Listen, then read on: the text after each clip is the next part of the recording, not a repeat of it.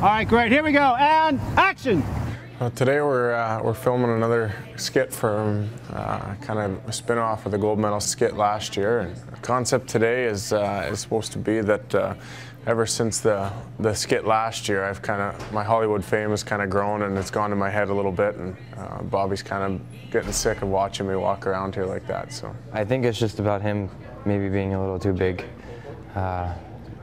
For his own britches. His head's a little swollen from all the success and now being our captain and everything. So um, I'm just trying to keep the room honest and bring him back down a peg.